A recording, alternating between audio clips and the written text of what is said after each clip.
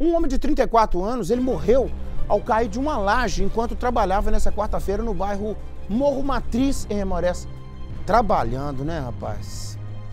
Ah, é muito triste. A vítima fazia a troca de um isopor de sustentação da laje quando aconteceu o acidente. É. Ah, é muito triste. O Ivan tá chegando aqui. Ô, Ivan, sabe o que me entristece? Que a pessoa que trabalha, né, normalmente é pedreiro que trabalha fazendo esse serviço, a pessoa está acostumada com esse tipo de risco. Ah, mas provavelmente ninguém sai de casa imaginando que vai cair de cima de uma laje, né? Que tristeza! Como é que foi esse caso aí, meu amigo? Boa tarde.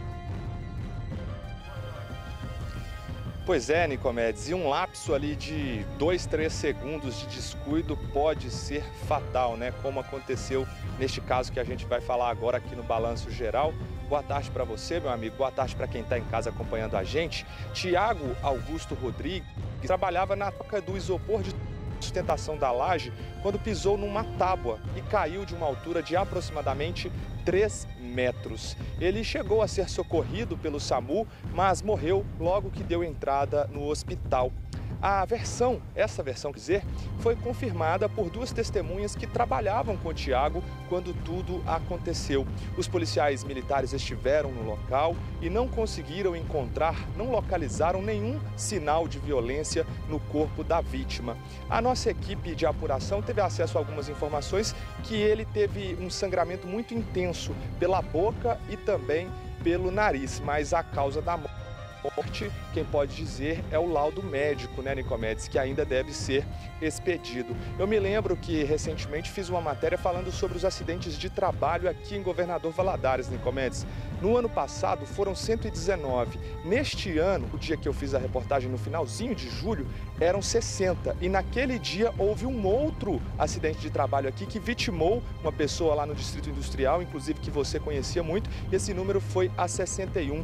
Não custa nada a gente pedir às pessoas, né, Nico, que trabalham nessa situação de risco, para terem sempre muito cuidado, cautela ao realizar os serviços e, claro, utilizar os equipamentos de segurança que são indicados, né, Nico? Uma vítima que infelizmente perdeu a vida tão cedo, né, 34 anos, o Tiago Augusto Rodrigues. Este caso aconteceu em Aimorés, mas eu estou usando os números aqui de Valadares para a gente alertar a nossa população a respeito dos perigos desses acidentes de trabalho, né?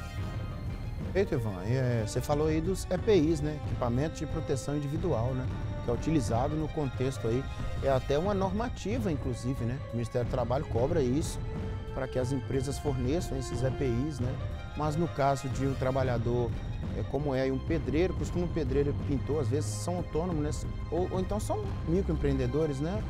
E aí costuma eles mesmos, são gerentes de si mesmos, né? Acha que não, não seja importante. Não estou dizendo que é o caso aí, né? Quem vai informar o que tem acontecido é exatamente o laudo pericial feito pela medicina do Instituto Médico Legal. Obrigado, tá, Ivan? Daqui a pouco você está de volta, que a gente fica triste, né? Ah, a pessoa está trabalhando, rapaz, sai de casa para trabalhar. Daqui a pouco eu volto para almoçar. Não, hoje eu vou levar marmita, não. Fim da tarde eu vou trazer para você, filho, que é pirulito que você pediu. Não, o coração da gente corta. Corta, não é. Não é uma morte, caiu do telhado, morreu, caiu da laje, não é, para mim não é só isso, tem um conjunto de coisas. É um ser humano que saiu de casa cedo, que acordou, é um cidadão que sai atrás para pagar a conta de água, de luz, de telefone. Essa vida nossa de brasileiro, né, de é, vender aqui o frango para poder comprar um, um, outro pedaço de carne, é, aí a pessoa morre, mata, mata a gente do coração.